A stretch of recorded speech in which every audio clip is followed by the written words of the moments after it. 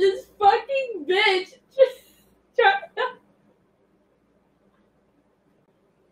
we were trying to come out of an aisle and she, she was like moving, like she was going this way. We were coming out of an aisle and she almost hit us. And she like said, like,